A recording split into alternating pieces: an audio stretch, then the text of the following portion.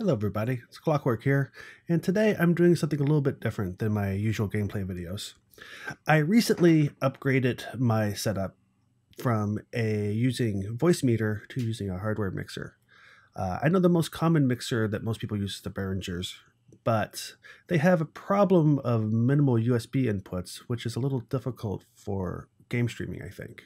So I did some research and I found what I think is the perfect mixer for people streaming games.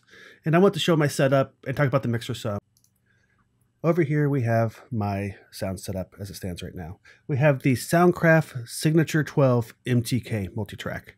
This is important. I'll explain why in just a second, but the MTK costs more, but it's worth it for a streamer. I also have a Composer Pro for um, hardware processing. It's not required, and actually having this sort of illustrates a small problem I have with this mixing board, but the features by far outweigh the problems. And if you want to up to the 22, which is much wider, it actually helps fix some of the problems. Although, for me at least, I end up with a lot more inputs than I need. That's why I got this to begin with. The awesome thing about this mixer and why it's so good for streamers, I think, is that it has your typical 12 inputs. Six of them are monos for mics, and then the last six show up as um, are on stereo channels for stereo devices.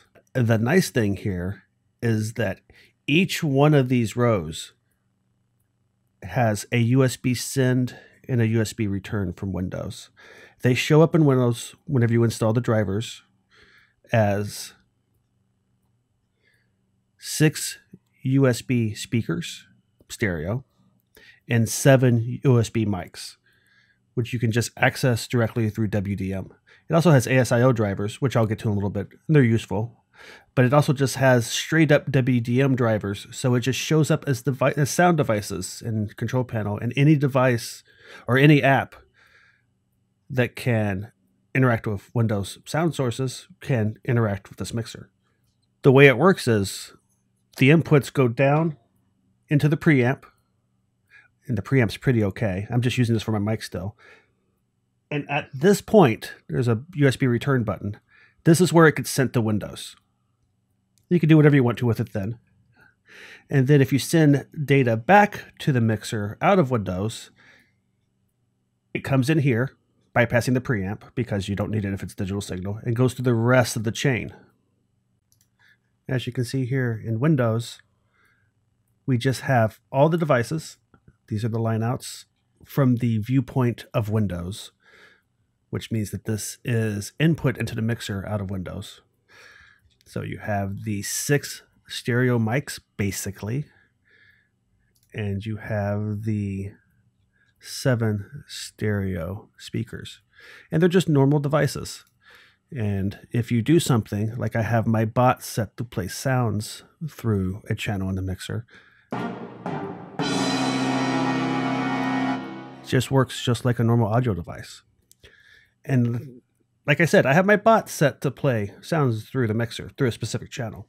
This is one of the spots where Windows 10 and this mixer play together great to give you the maximum flexibility for customizing your audio and having control over it because Windows 10 recently introduced, but the ability to, per device or per app, control the output channels.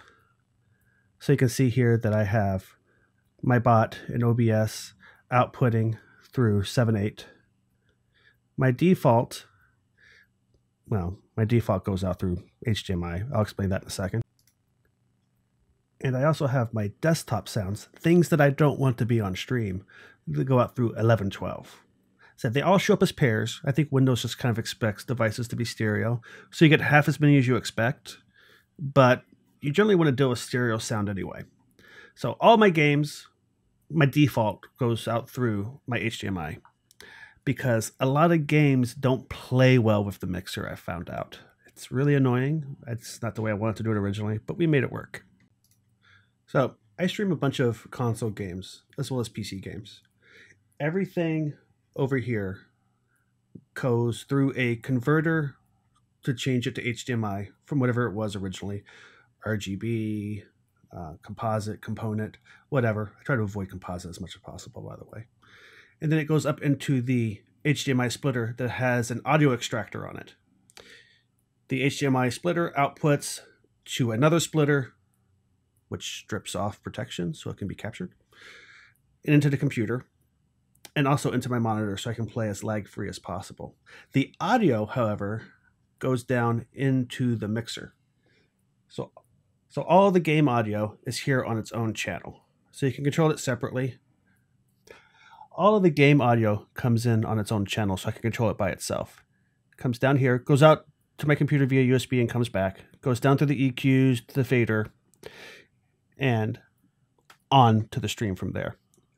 We only have two major final outputs on this mixer. We have a group and we have the master. The headphones come out through the master.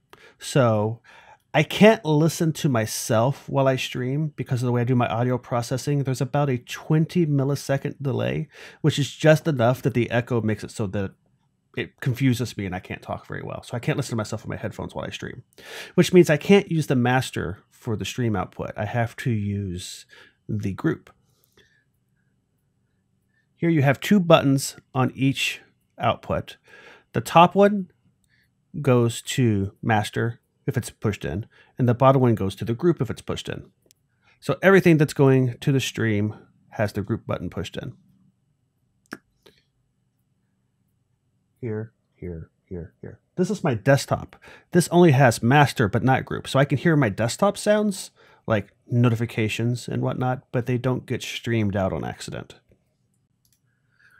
The reason why my gameplay goes to Windows is because I apply a compressor to it. I play some games like Mass Effect that have a very wide audio dynamic range. The gunshots are very sharp, and I get some complaints about that. So I've added a single band compressor into this to tamp down the loudest sounds. It's a very selective compressor. It's set at a very high volume, but it helps a lot. I've gotten a lot less complaints about that since then. I also have my mic coming into Windows before it goes into the hardware processor because Audition's adaptive noise reduction is awesome, and my studio slash office isn't the most sonically clean place. Especially in the summertime, we don't have air conditioning, so I have a fan running, and this strips out almost all the fan noise. So you can't even hear it when I'm talking unless you listen really, really closely. One of the nice things about this and the way the drivers are written is that you can use both the ASIO drivers inside of Audition and the WDM drivers inside of the Windows Sound Mixer at the same time. Both devices are active. I haven't tried to route something to the same channel from both. I don't know if that would work. I would expect it not to. I don't have a need to, so I don't do that. There are a few niggles, shortcomings, small problems with this that I wish were better, but they're not so bad that it makes me not use it. You only have one VU meter on the mixer, and it only monitors the master channel. It would be nice if you also had them for the group and for each input. So that way you could tell when you were clipping or getting close to clipping and what the relative sound level was rather than just listening to it. You do get clipping lights for each channel, so you know when it's just way, way too loud. The clipping lights also light when the channel is muted, which this one is. There also isn't effects, sends, and returns per channel. In order to do that here, since I'm sending everything over to this, what I have to do is take my mic and then I route it over through aux1 right here.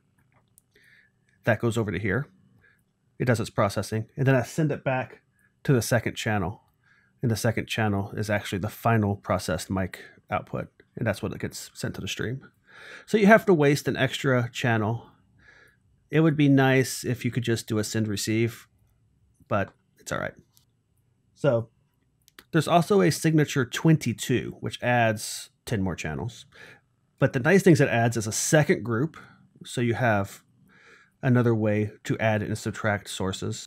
And it also has five auxes instead of only three, which I don't need yet, but I'm pondering removing Audition for the gameplay processing and adding a second stereo compressor, which then means I'd be using all of my auxes and two more channels over here because of the lack of send receive effects. The Soundcraft is significantly more expensive.